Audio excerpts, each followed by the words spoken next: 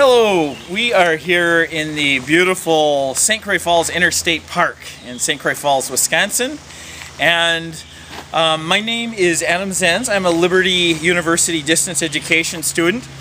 And I'm going to talk, present a speech on um, why um, in Wisconsin and um, elsewhere, but particularly in Wisconsin, why library users need to get more involved with interlibrary loan, voice their concerns, and also um, possibly initiate a program which is available to all um, area, all Wisconsin state residents uh, called Patron Initiated Interlibrary Loan. Now walk with me if you will. Um, obviously, Patron uh, Interlibrary Loan is a very important um, library service that is delivered. Um, as a library director for nine years in rural northwest Wisconsin, um, I have seen personally an increase in this activity. Um, let me first define what we're talking about. Interlibrary loan is a service that's provided to library users when they have cleared the local resources, the uh, items that are available in their local online catalog, and they cannot find what they're looking for in that um, online catalog. So basically you go outside, you cover uh, resources throughout the entire state of Wisconsin and in some cases even beyond the state of Wisconsin um, into neighboring states such as Minnesota and North and South Dakotas. So what are we um, essentially talking about? Why is there an increase and why do library users need to get more involved with this? Well, um, distance education has really taken off. And distance education students, both in public and academic libraries, need the, the service of interlibrary loan. Um, the one um, study which was done um, at Gonzaga University in Spokane, Washington, showed that when the college put up a put their master's programs online, they had a dramatic increase of 149% in their interlibrary loan usage. Now that's, that's a very telling figure. That shows that when you make these programs available online, which more and more colleges are, then you'll have increased usage of interlibrary loan services. At Gonzaga, they had increased, uh, they had an overburden on their staff, and they needed simple solutions, which they performed the study on.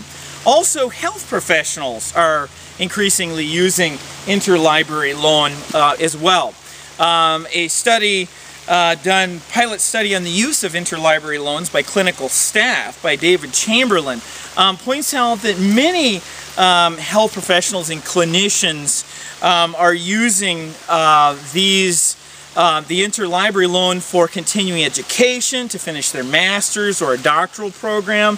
So it's it's very vital um, as we can tell. Now, one of the issues in Wisconsin um, that has arisen is that how do we make interlibrary loan services easier to convey from the librarian and the public libraries, the academic libraries, to the end users. Now it used to be, the traditional format is that the library user may have, um, on the internet, may notice resources that they cannot obtain through their local catalog. Well, what do they do? They have to go on the state catalog. They, they used to have to print off documents and then drive into their local library, hand the librarian, make the, uh, uh, an official request. That is no longer necessary. Now, through a program um, which is being touted and developed more and more in Wisconsin called Patron Initiated Interlibrary Loan, you can perform these requests, the end user can make the request themselves virtually online and the without going into the library. They can just do it from a home or work internet enabled computer. So this is really a, a marvelous opportunity. It cuts down on the workload of the local librarians and it's much simpler for the end user to do rather than having to again print out these documents, bring them into the library and submit formal requests. So in light of these things, the increased um, number of distance education students, more and more um, programs, both undergraduate and graduate, going online, um, and also the need, the increased usage of interlibrary loan services for these students, um, and also the fact that in Wisconsin we have this wonderful program and service available called Patron Initiated Interlibrary Loan. I would encourage you, the Wisconsin end user, to um, engage in this uh, service. Thank you very much.